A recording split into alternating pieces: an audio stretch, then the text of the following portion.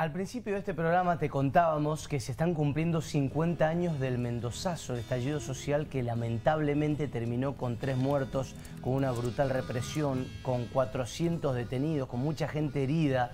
Esto empezaba el 4 de abril de 1972. Hace exactamente 50 años gobernaba la provincia Francisco Gabrieli, lo hizo hasta ese mismo día, porque después terminó renunciando, dejando su cargo, producto de lo que pasó, producto también de cierta represión que se dispuso desde la octava brigada.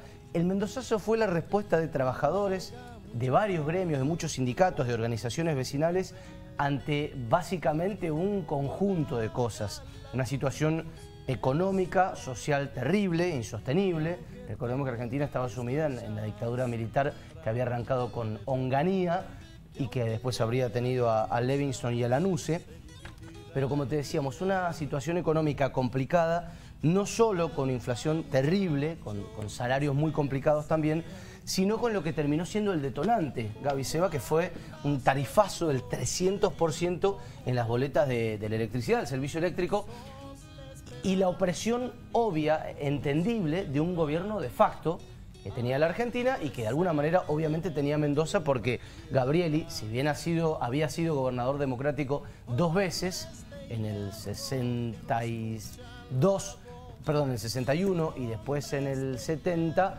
este, acá llegaba como interventor federal por la dictadura. Eh, vamos a ver un informe, no sé si querías aportarnos algo Gaby de, de todo lo que contábamos o lo contamos en un ratito, pero teníamos muchas ganas de poner esto al aire. Un laburo de Fabián Rodríguez en la edición, uno de nuestros queridos editores, y de nuestro queridísimo Sergio Di María para recortar para relatar y para revivir esto que no solamente tenemos que memorizarlo y recuperarlo, sino pasárselo a las generaciones futuras. 50 años del Mendoza son 4 de abril, como hoy, pero hace 50 años, en el 72. Mirá.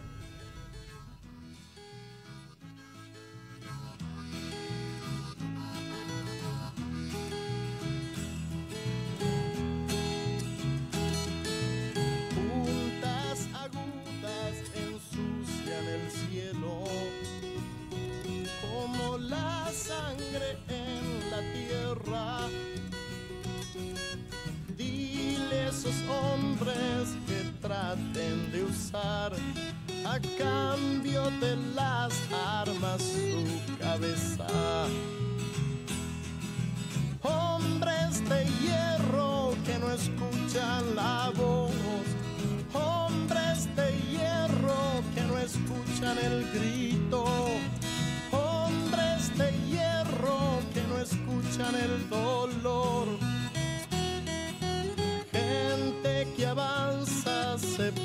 Puede matar, pero los pensamientos quedarán.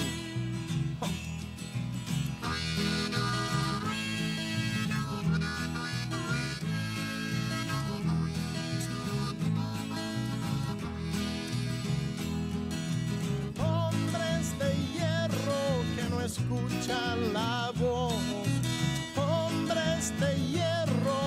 escuchan el grito, escuchan el dolor.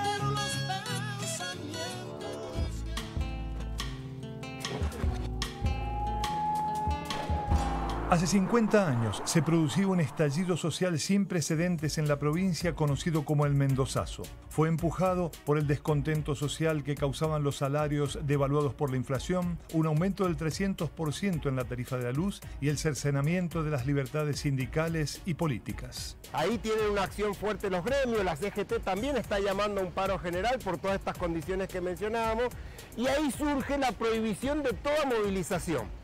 Claro, esa prohibición dada en ese contexto, sin duda lo que hizo fue a, asusar más todavía los ánimos Y se preveía, claro, después uno lo analiza, lo que iba a pasar, que era un enfrentamiento, porque el gobierno de Francisco Gabriel y quien era el interventor federal del gobierno de facto, prepara la fuerza y ordena detener las movilizaciones y se dan y las tanquetas Neptuno tiraban agua colorante para poder identificar a los manifestantes. Y claro, en los guardapolvos blancos sin duda resurgía mucho más, se identificaba mucho más. Y la columna de docente, que quizá era la más organizada, es la que primero recibe los embates de la represión.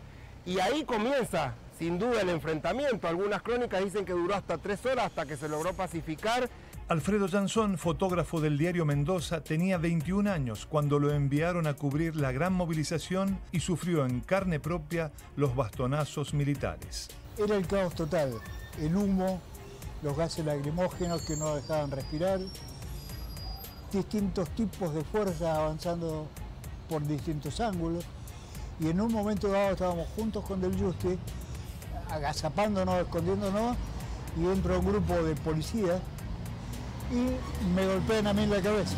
Y nos tomaron detenidos, nos llevaron adentro de la calle de gobierno. Yo sangraba como loco, no había forma de que me dieran asistencia, no había asistencia de ningún tipo. Han pasado dos o tres horas, nos liberaron y fui a parar al hospital.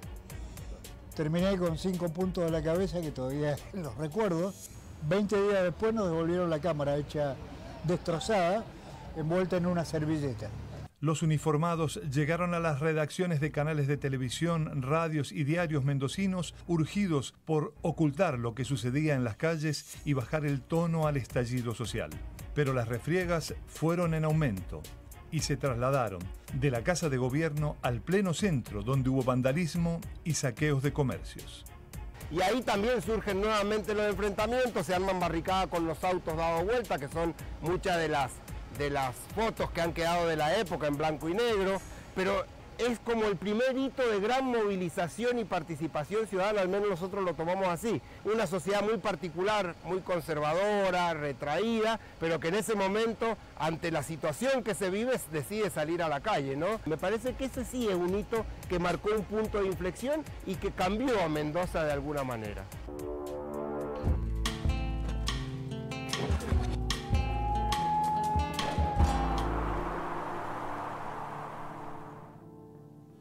Eh, esta era la verdad que buenísimo informe, reiteramos que lo hizo nuestro compañero Sergio de María, eh, con Fabián Rodríguez también en la edición.